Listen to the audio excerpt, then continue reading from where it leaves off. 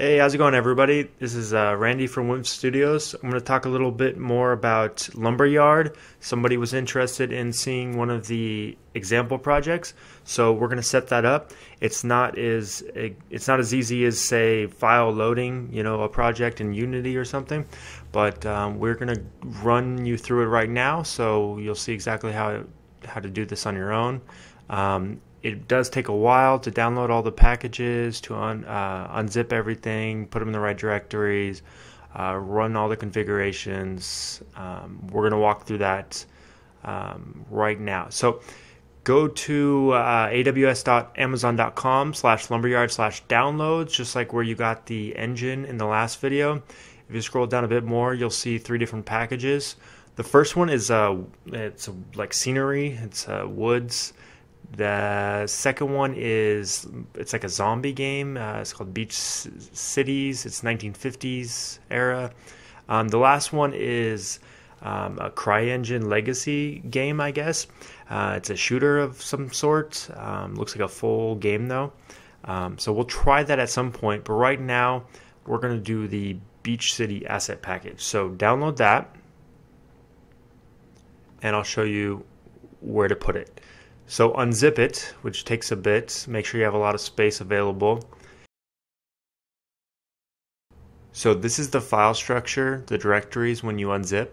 You need to move all of these to the proper location within your root engine folder. So let's do that now. This is the root engine folder.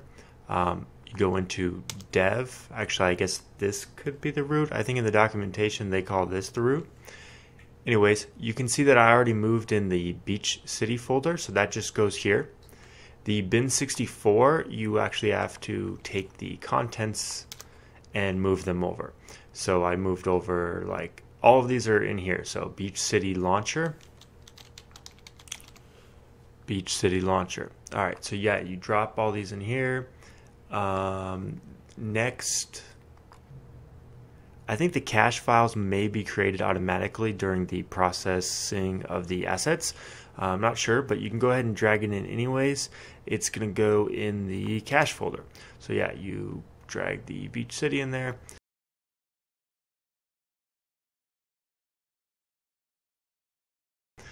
Um, and then the code directory is going to have a beach city folder as well and this is called a module. So yeah, drag over this into the code directory in your root engine folder.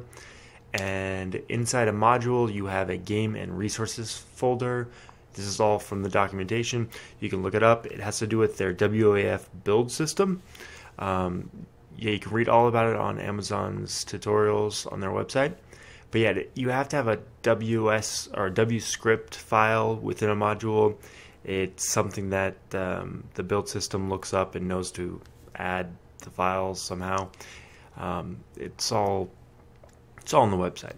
Yeah, the resources. Not much in here. It's like an icon. Uh, game. This is where all the classes are. Uh, a couple other files as well, but your core classes here. Um, this is your header file. This is your implementation files. So yeah, once you've dragged in all those files, I don't think you need to drag in the license, but uh, I actually did just throw it in the root folder as well. Now, once you do that, you need to set up um, the project settings. So the project JSON um, configuration file. So where's that? That I believe is in dev, and then there's WAF, which again is their build system, and projects.json. So if you open this up, I had already added all the new packages, but I'll show you what it looks like. So this is um, standard JSON um, structure. It comes with uh, two modules at first, or two projects, two asset packages, the samples project and the multi, uh, multiplayer project. Um, they're just comma separated like this. Um, so you got to add the comma, and then you got to add another another entry for Beach City. All right, so where does this come from? This I got from the website. Um, it's kind of hard to find, but it's under the documentation lumberyard user guide, sample projects and levels. So this this gives you a little bit about the the directory um, setup. It talks about the two packages that come with it, the samples project and the multiplayer project, And then this is the legacy pro- project that you can install the shooter. Here's the beach cities that I mentioned before. And the last one is this little woodland asset package. Um, but this is what you're looking for. Go to Beach City Sample Project under Topics. And it's here that explains the steps that I'm showing you now. So this is the this is the JSON that you want to add when you want to add the assets package to your projects.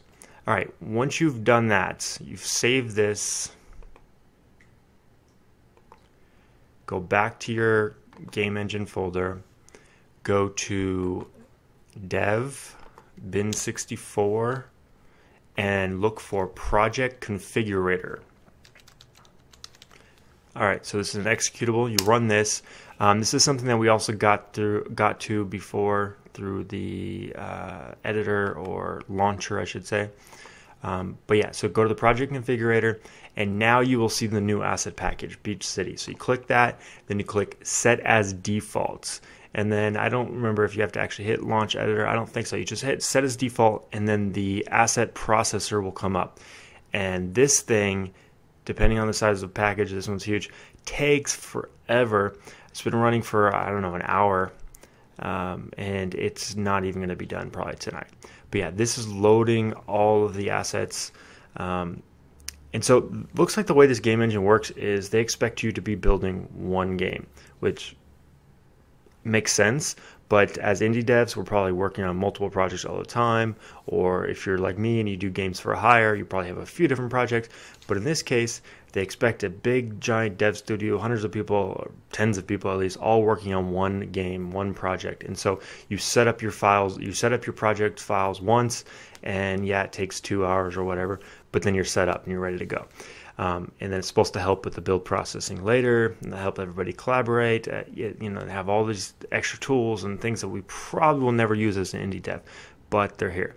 So it seems to slow us down, but I'm sure there is an advantage to it. I'm just not seeing it yet, but it is early. It is beta. So after all those assets are done processing, you can then either launch the game itself or you can launch the editor. We'll launch the editor first, and then I'll show you how to launch the game.